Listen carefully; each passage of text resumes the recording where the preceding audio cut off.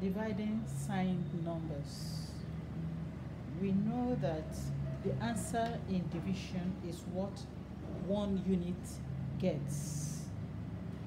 We are going to do distributive division.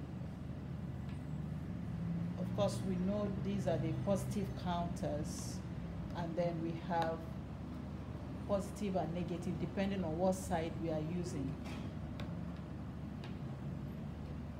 So suppose I have this number.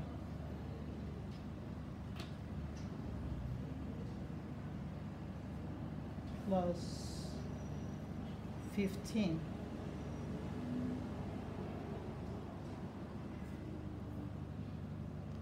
I want to divide that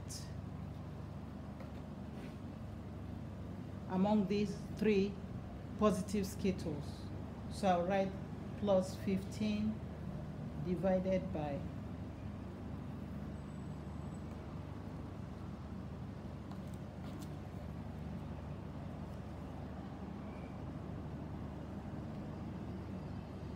plus 3.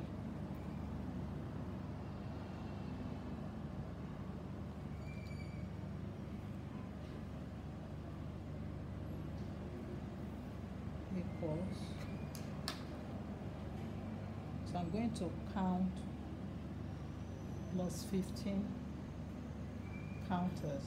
Plus 1 plus 2 plus 3 plus 4 plus 5 plus 6 plus 7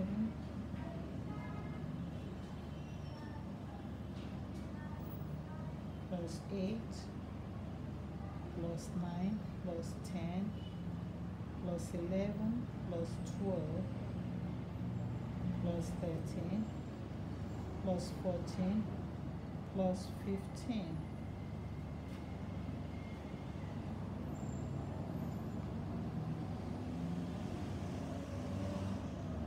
plus 1 plus 2 plus 3 plus 4 plus 5 plus 6 plus 7 plus 8 plus 9 plus 10 plus 11 plus 12 plus 13 plus 14 plus 15 so we are going to share that among these three positive skittles. So let me put this one here dividing sign numbers. So I'll do plus 1 for you plus 1 for you plus 1 for you plus 1 for you plus 1 for you plus 1 for you plus 1 for you plus 1 for you plus 1 for you plus 1 for you plus 1 for you plus 1 for you plus 1 for you plus 1 for you plus 1 for you. So we know that the answer in division is what one person gets. So in this case, one person gets what? One skittle gets how many? Uh, what's the quantity that one skittle gets? Let's say 1 plus 1 plus 2 plus 3 plus 4 plus 5. So the, the answer is plus 5.